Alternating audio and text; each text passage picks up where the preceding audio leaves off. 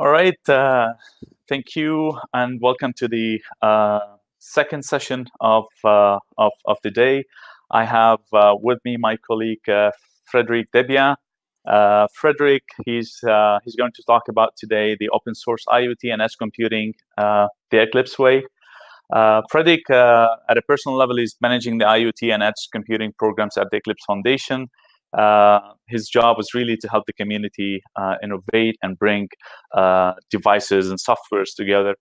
Uh, Frederic has been always a, a, strong supporter for the open source community. In the past, he worked as a product manager, solution architect, and developer for companies as diverse as Pivotal, Cisco, Oracle, Frederic holds an MBA in uh, electronic commerce, uh, a bachelor degree in in, in, uh, in, computer science, and as well uh, uh, bachelor uh, degree in, in education. So, and all from Quebec-based university, University Laval.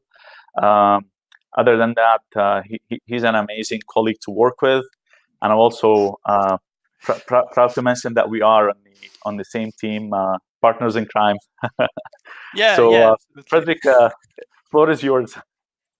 Yeah, thank you, Hassan, uh, for the great intro and uh, welcome everyone to my session. So, you know, it's a hard hack to follow uh, speaking like that after Mike, uh, but um, at the same time, it's great because essentially what Mike told you about the importance of open source, uh, the whole point of my presentation is to actually show you how we do it at the Eclipse Foundation in the various working groups we have in the IoT and Edge domain. And, and first, to um, get back to Mike's keynote, I mean, uh, the one conclusion I had, because I had the pleasure to, uh, you know, to to to work a bit to fine tune uh, Mike's presentation with him, and and the impression I had when I first saw the deck was that literally software is eating the world and, and and that's a good thing you know. Digital transformation means that we are moving from fixed function devices to literally software powered devices that are much more flexible and open a whole world of possibilities. And that's a tremendous change for many many industries. I mean uh, think about it the smartphone is such a flexible tool because you can update it and add new apps to it but even cars today are literally data centers on wheels and will receive uh, new features through software updates so it's a fantastic uh, fantastic opportunity and a fantastic change for the world so software is eating the world but you know, as Mike said, I mean, open source is integral to digital transformation. And the reason for that is that when you are open, you create real ecosystems. And a good example for that is bread. I mean, bread is uh, you know a staple of many many cultures. Uh, you go in all parts of the world there are different breads to try out and taste and all of that. And you know that's what makes bread great there there is so much variety and also that you can make it at home. I mean the secret of bread making is an open secret and it's been for for uh, you know literally centuries and and even longer than that. And um, this means in turn that bread as an ecosystem is much more valuable. Uh, we don't know exactly when it has been invented in an historical perspective or when it has been discovered but the fact that bread the fact that you uh, just have to take some flour and yeast a pinch of salt maybe a bit of sugar uh, and that you can make bread the, this open secret means that it, it, was able to spread toward the world and this gave birth to this incredible ecosystem of all sorts of breads throughout the world uh, if you apply that to software, it's a bit the same thing. Can you imagine a world where you know bread making would be uh, controlled by five big corporations fighting for dominance, and where no one except for those five corporations would be uh, making bread? I mean, the whole bread ecosystem would be less valuable if that was the case. And it's the same with industrial automation. Uh, it's the same with IoT. It's the same with software in general when you are open, you create robust ecosystems that drive innovation and that drive, uh, you know, new new solutions and and in turn, this is what makes what we do at the Eclipse Foundation in IoT and Edge so much valuable to the rest of the world. And and Mike covered this in his uh, in his uh, in his talk, but uh, I really want to reemphasize here how important open source is and not for the reasons that you would suspect. I mean yes open source uh, doesn't cost a thing so cost is a driving factor but the number one reason people are picking open source and this has been showed in our 2021 iot and edge commercial adoption survey and we'll release the results to that uh, in early june. But essentially um, Customization has been identified as the number one reason why people are picking open source and why open source is important to them in IoT and edge computing. And this is tremendously important because essentially when you do IoT solutions, when you work in edge computing, you want to customize the solution uh, specifically to the use case that you are addressing. And if you are using proprietary components, you can do it as easily. And so customization was the number one reason why people open source. And then cost was number two. And number three was more control. You have more control when you have access to the source code. And this in turn means that as an organization developing solutions like that, or as an organization deploying IoT and Edge solutions, um, you have the capacity to really address your specific needs because you have the power to customize things and you have more control overall on the solution. And IoT and edge computing solutions, they are pretty much different than your run-of-the-mill uh, IT project. I mean, when you think about IT nowadays, you know, it's DevOps, uh, rapid iterations and all of that, and you can change things right and left, even in the middle of the day. Sometimes you will, you will have, literally when I was building this presentation, I had to reload the page sometimes because there were new features in, in uh, Google Suite uh, and you know, I, I, was getting a message that I should reload the page in order to benefit from them. Um, in IoT and Edge, it's a bit different. I mean, IoT and Edge is about a longer lifespan for the solution. When you have a smart building or a connected road or anything like that, even a smart home, you are thinking, you know, about uh, in terms of years, if not decades, for the lifespan of the solution. And then obviously, uh, the solution that you will have will be heterogeneous. No one player in the market, especially in IoT, can provide you all the key components that you require. And this in turn means uh, that you will have to deal with various suppliers and various uh, uh, even uh, software stacks and protocols in order to achieve your goal. Uh, then IoT and Edge are pretty much about the constraints. You are literally deploying sensors and actuators in the physical world. In the case of edge computing, you are bringing um, compute and storage as close to the source of the data as possible, which means that you will deploy little edge nodes on wind turbines or on uh, oil drilling platforms in the middle of the ocean, or uh, in other environments where essentially the, the compute and storage physical components will be exposed to wide changes, uh, wild changes in temperature, humidity, and things like that. And there's dust and vibration and all of that. So uh, IoT and edge computing are all about the constraints that you need to address in order to deliver a solution.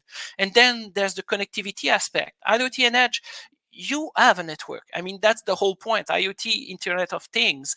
So the Internet there means that you're connected somewhat to the uh, to the to, to, to the public internet.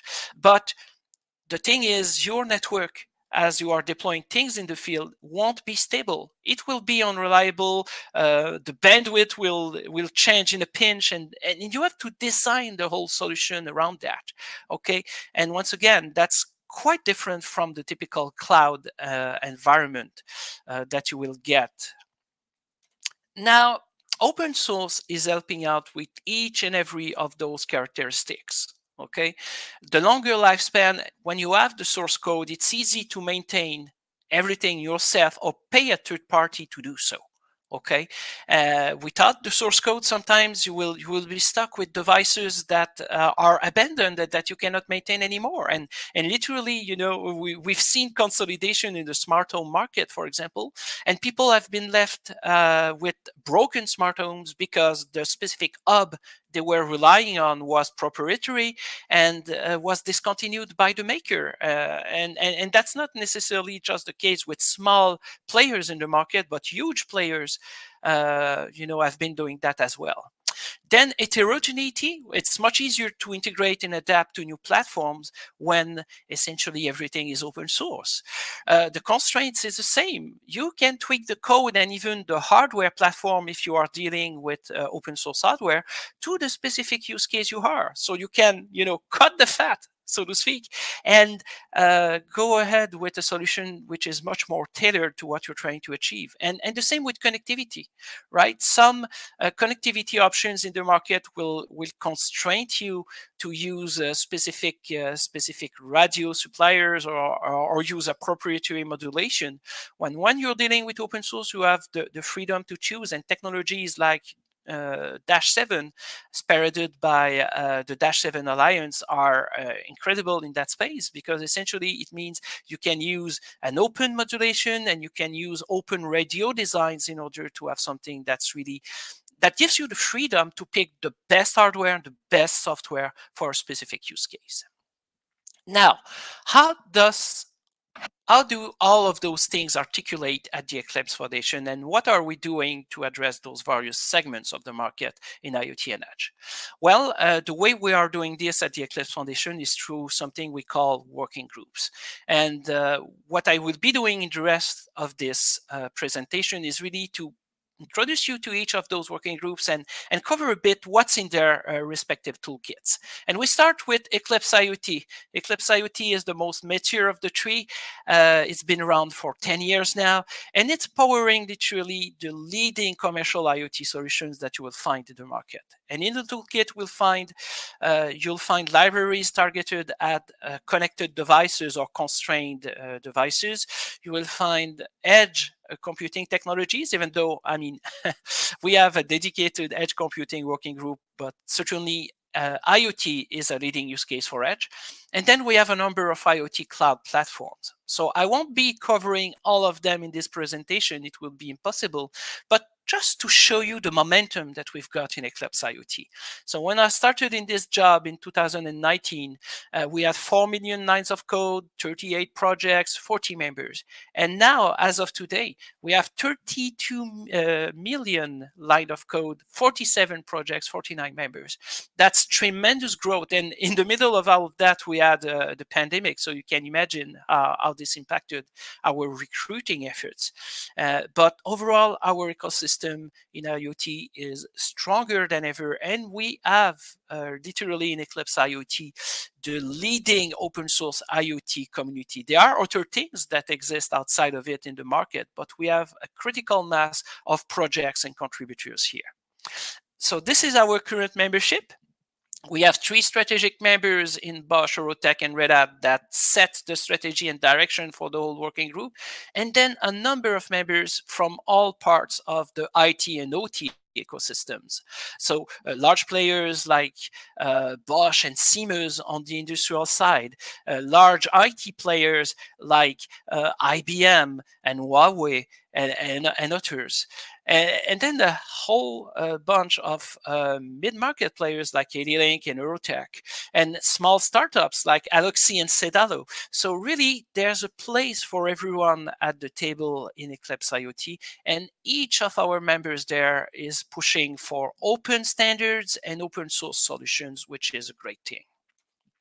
So uh, to illustrate a bit the variety of what we have in the toolkit, when you think about IoT, you think about protocols. And most of those protocols are industry standards. Like CoAP is an RFC uh, spearheaded by the IEFT. Uh, DDS uh, lives at uh, the OMG Foundation. Uh, lightweight M2M um, you know, uh, is is uh, something uh, from uh, uh, OMA SpecWorks.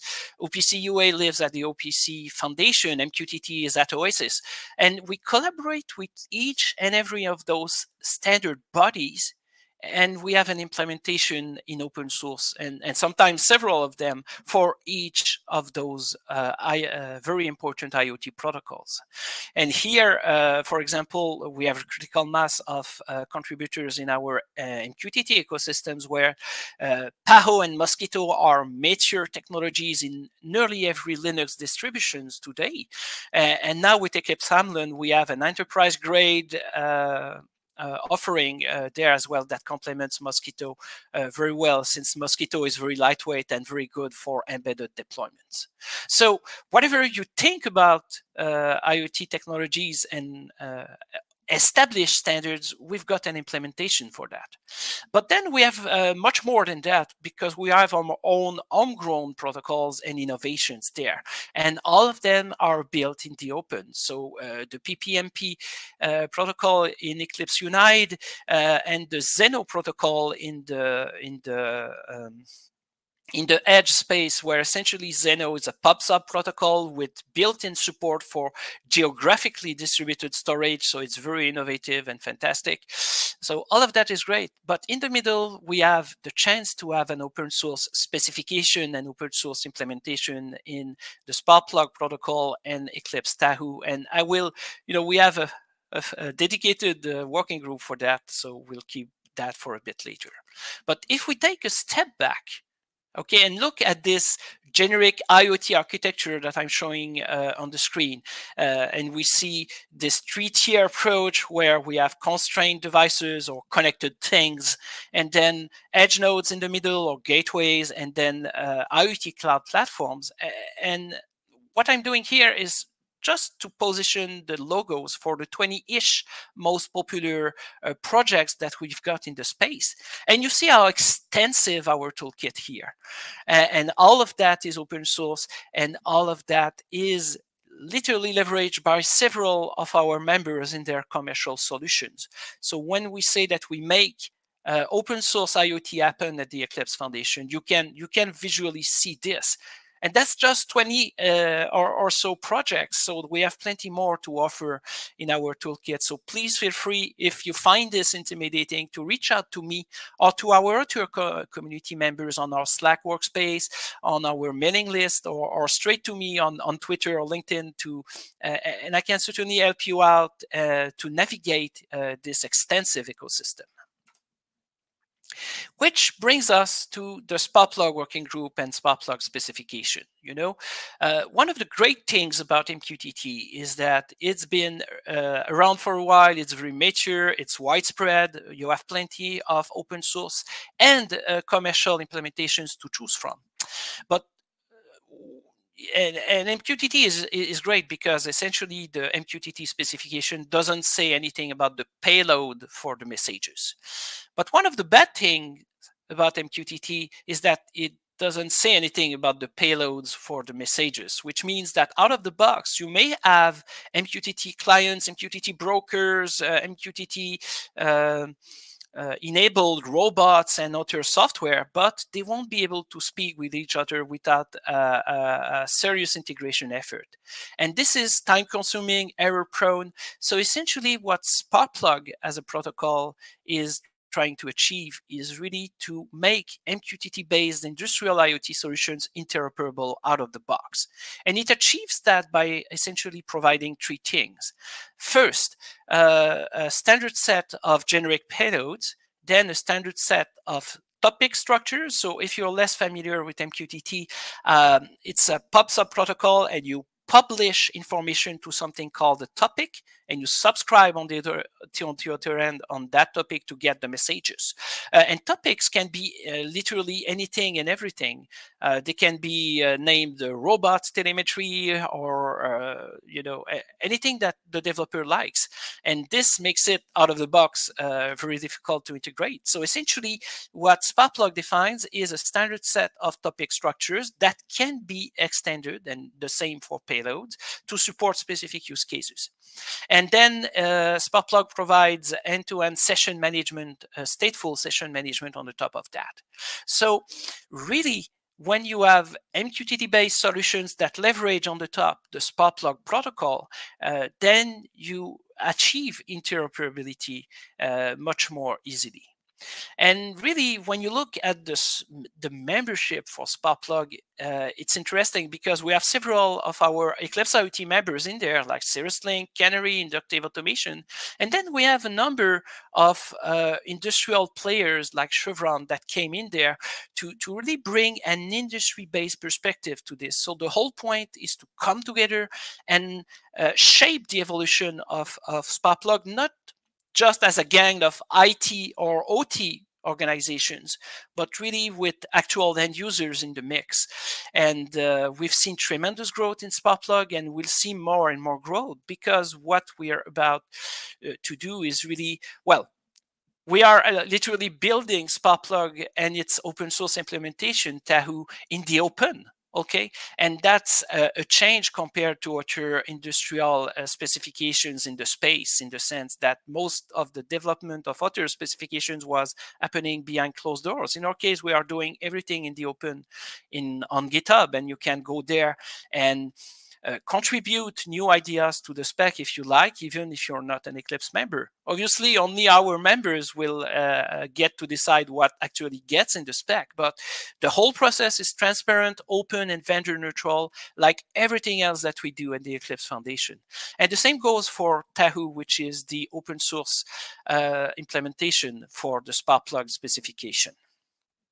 And soon we'll be launching what we call the Sparkplug compatible program, uh, where essentially uh, implementers of the Sparkplug specifications will be able to use this nifty logo you see on the slide uh, to really showcase that they uh, they downloaded the technology compatibility kit for Sparkplug and that their Sparkplug implementation passed it okay? Uh, so you will see this as a sticker on devices and on on the websites of software uh, software publishers uh, that have implementations for it. And really um, this will in turn be featured as a marketplace on the Sparkplug website where essentially you'll be able to go there and see all the Sparkplug uh, compatible devices and software stacks that are offered by our members. So the program will be open uh, just for our uh, members. And so uh, stay tuned for more details, but we are building a whole open ecosystem around the open source Sparkplug uh, specification and our members. And then there's edge computing. So edge computing uh, was covered in Mike's uh, keynote as well. It's literally when you bring compute and storage closer to the source of the data. And we have two fantastic open source edge platforms that are uh, shepherded by this working group. So the whole point of Eclipse Edge Native is really to focus on those two implementations. So that's why we say that we are code first and push in the market our approach to edge computing, which is called EdgeOps. Okay, and I will elaborate a bit on that. But really, our plan there is to simplify and streamline the mass deployments of edge compute nodes because uh, you deploy 10 of them, it's easy, but the real problems surface when you have hundreds or thousands of them. And really our focus is there. So EdgeOps is literally taking DevOps and making it um, uh, closer to the requirements of the edge because the edge environment is very different from the cloud and from the data center environments. And uh, we feel there's a need for a specific approach to that.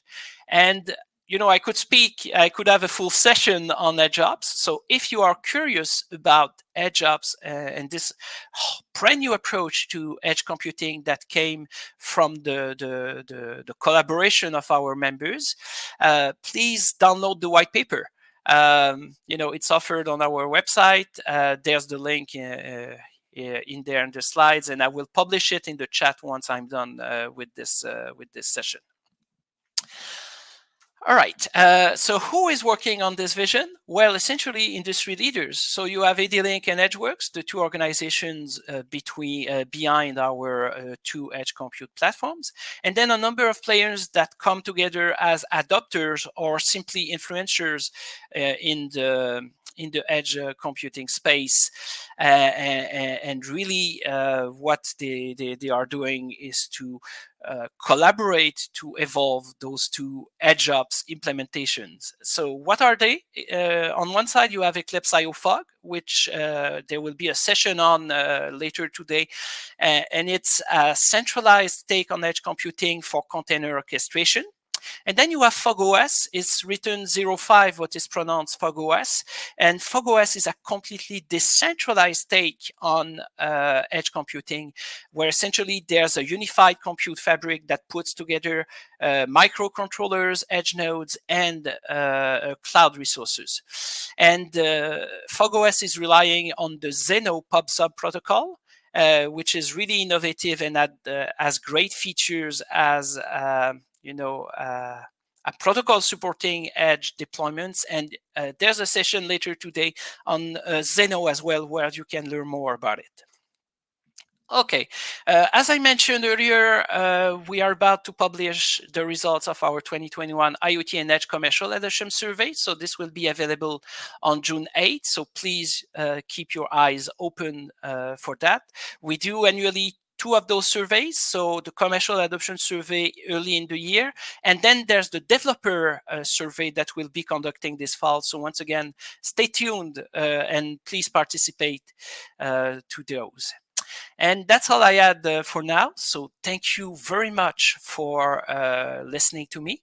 And now, if there are any questions, I will have a look and uh, see if I can answer them.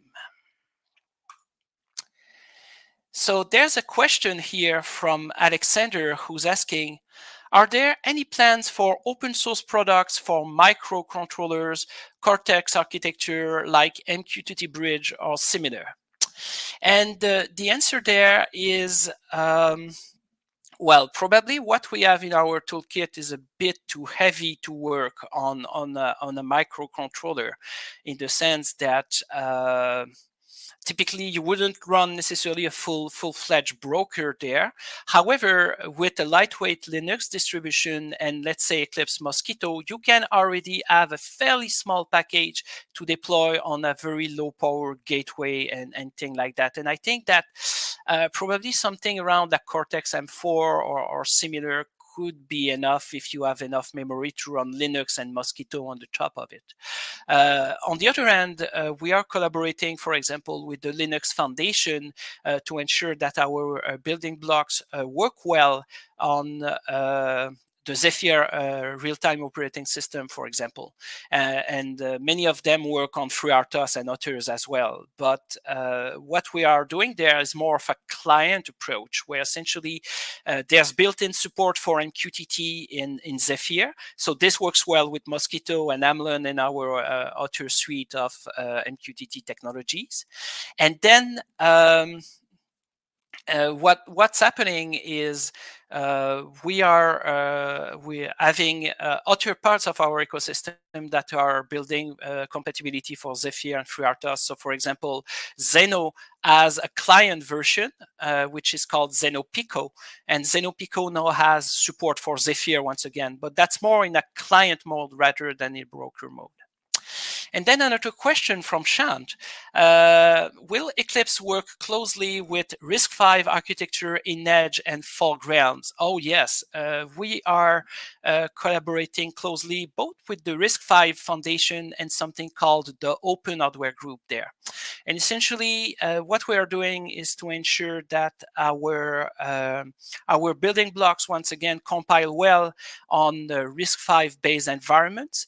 Uh, the Eclipse Foundation has a sister organization that's called the Open Hardware Group uh, that we are uh, collaborating closing, uh, closely with. And what the Open Hardware Group is doing is to take the RISC-V instruction set and produce uh, in open source core designs for RISC-V based microcontrollers and other CPUs. Okay, and they are doing that in the open on GitHub, so you can go there and download the system Verilog for the chip chips and go to a foundry and get those processors made, or you can modify them and validate them on FPGAs and things like that. So I'm involved uh, heavily in those conversations to ensure that we have a great support for RISC-V in general and uh, the CORE-V line of uh, CPUs that are built at Open Hardware Group in the open uh, and ensure that uh, our Eclipse IoT building blocks work well with that. So you can,